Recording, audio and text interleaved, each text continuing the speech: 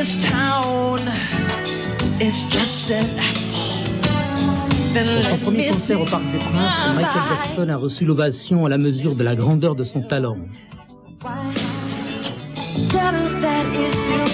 Concert d'une autre dimension au cours duquel l'homme enfant du rock a exhalé sa monomanie scénique, renfonçant par la même son image de star rock androgyne.